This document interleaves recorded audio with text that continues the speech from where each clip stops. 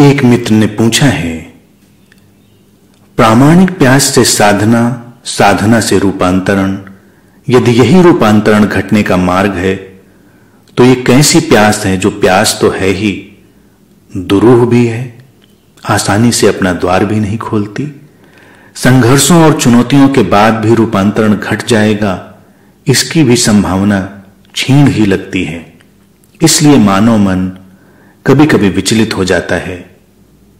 जिसे आप हमारे संकल्प की कमी कहते हैं, आपको सुनना एडिक्शन नहीं है। साधना पद पर चलने की आवश्यकता है। यदि परीक्षा लेते हैं तो अवश्य लें। साधना पद पर चलने वाला चुनौती स्वीकार करता है, डरता नहीं। फिर भी प्रार्थना यह है कि प्रामाणिक प्यास के विषय में चर्चा करते समय कुछ और सरल ढंग से व्याख्या कर दें।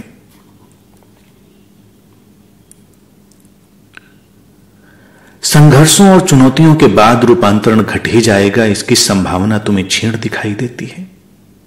लेकिन ऐसा नहीं है।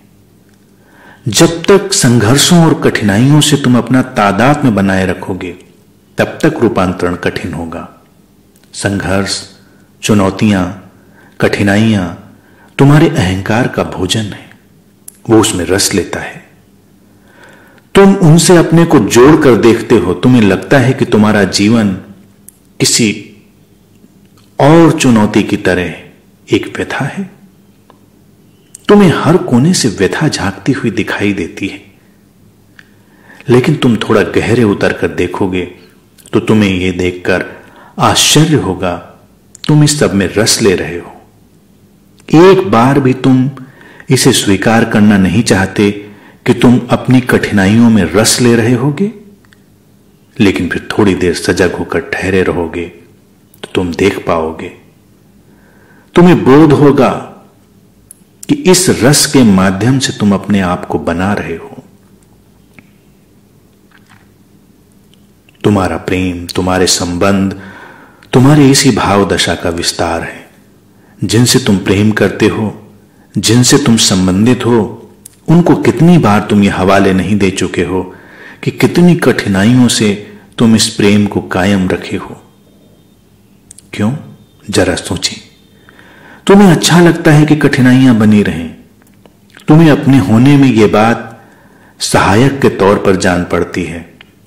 और कई बार जब तुम नहीं कहते हो, तब अपने मन में सोच रहे होते हो कि देखें, जीवन कितना कष्टप्रद है, कितना संघर्षपूर्ण है।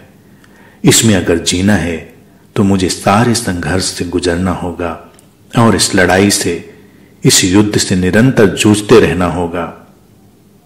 तुम अपने आप को ऐसा अनुभव करके अस्तित्व के विराट प्रवाह को तोड़ देते हो, जिन्हें तुम कठिनाइयाँ और चुनौतियाँ कह रहे हो, जिन्हें तुम संघर्ष कह रहे हो, वो जीवन की एक भिन्न लय हो सकती है। वस्तुतः वो जीवन की एक भिन्न लय ही है, जो तुम्हें किसी आयाम में सचेत कर रही है।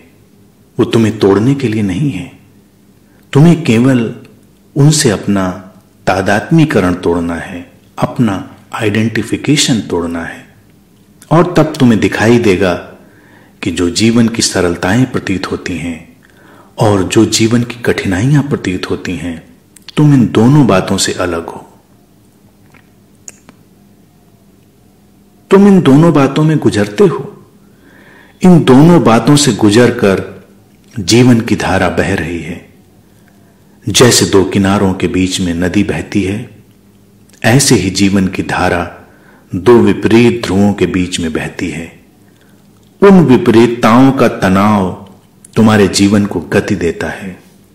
जब तुम दोनों को स्मरण रखोगे, जब तुम किसी एक ध्रुव से अपना आइडेंटिफिकेशन नहीं करोगे, जब तुम दोनों ध्रुवों से अलग हो जाओगे केवल एक ध्रुव से तादाद में बना लेना तुम्हारे जीवन को असंतुलित कर देता है।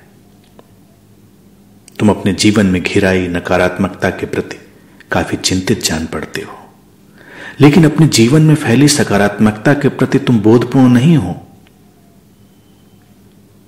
यह तुम्हें सकारात्मक बनाने का मार्ग नहीं है।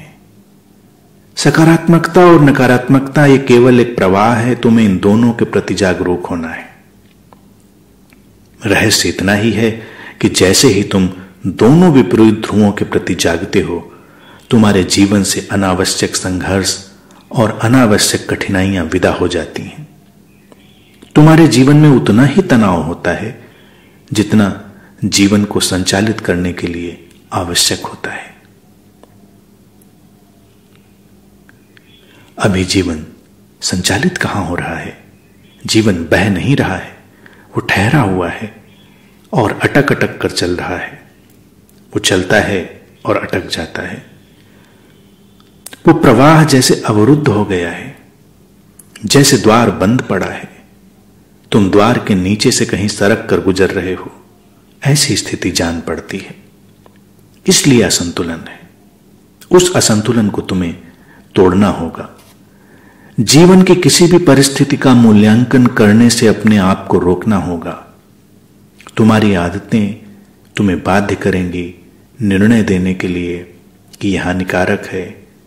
तुम्हारी आदतें तुम्हें बाध्य करेंगी निर्णय देने के लिए कि यह नकारात्मक है, ये सकारात्मक है, ये संघर्षपूर्ण है, ये बुरा है, ये अच्छा है। और तुम नकारात्मक और संघर्षपूर्ण और बुरा नहीं चाहते। लेकिन जैसा क्षण तुम्हारे सामने है, तुम्हें उसे जीना है। तुम्हारे पास कोई उपाय भी नहीं है इसके सिवा। जैसे कि मैं कहता हूँ कि पूरी तरह से अभी और यहीं हो जाए। तुम न भी होना चाहो तो तुम्हारे पास उपाय भी क्या है? तुम हो यहाँ पर। तुम्हें केवल उसके प्रति जागना है। एक जैन फकीर इसी बात पर अपने बुद्धत्व को उपलब्ध हुए। छोटी सी बात वो बहुत दिनों से अपने भीतर बोध कैसे घट सके इस प्रयास में रत थे। उनके भीतर प्रामाणिक प्यास जन्म ले चुकी थी। चीज़ें स्पष्टता में दिखाई दे रही थी, भ्रम टूट रहे थे। फिर भी वास्तविक घटना नहीं घट रही थी। और इसी भावदशा में एक दिन वो बाज़ार से गुजर रहे थे। रास्ते में कसाई की दुकान पड़ती थी।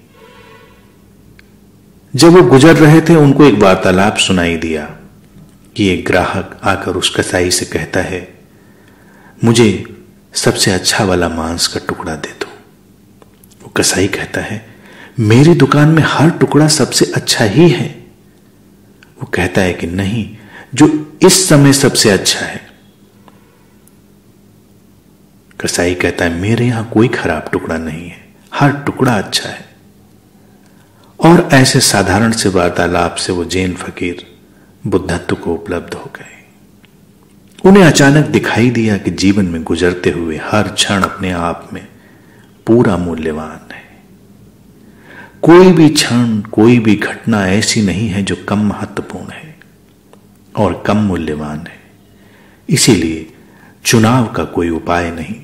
हर क्षण और हर घटना को उसी मूल्य के साथ, उसी सघन सजगता के साथ जीना है और तब रूपांतरण घटने लगता है। प्रामाणिक प्यास को सरल ढंग से व्याख्यायित करने की जो बात उठाई है, वो इतनी ही है कि व्याख्यायित करने या व्याख्याओं में जाने की जितनी चेष्टाएँ हैं, वो सब गिरा देनी है। तुम्हें अपने जीवन को पूरे होश के साथ देखना है। क्षण प्रतिक्षण